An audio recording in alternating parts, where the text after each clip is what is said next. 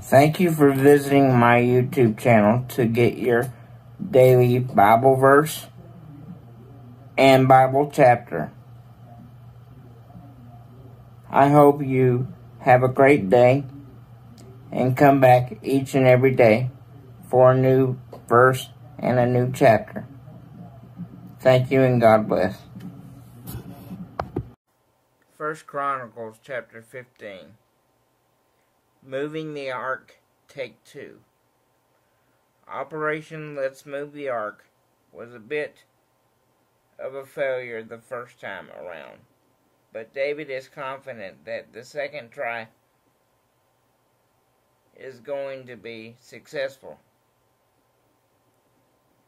This time only Levi's tribes help with the ark transportation. Way back in Exodus, God entrusted them and only them with the care of the tabernacle and the ark. And David wants them to do things old school.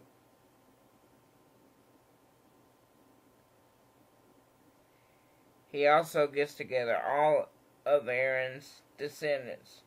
Aaron was Moses' brother and the first high priest, so his kin are the only ones fit to be priest in David's day too. This time everyone follows all the correct rules, like carrying the ark on poles instead of trying to touch it with human hands. David also a big music fan. He wrote all those psalms psalm songs. He also has the Levites appoint musicians and singers to play in celebration of the ark's trip. It works because the ark makes the trip from Obed-edom's house to Jerusalem without incident. When the ark comes into town, everyone is super psyched.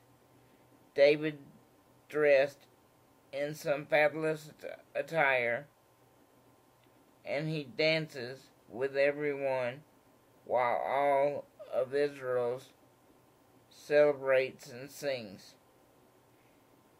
Everyone except David's first wife, Michal, that is. She also happens to be King's ex King Saul's daughter and she pretty much despises David and the ark.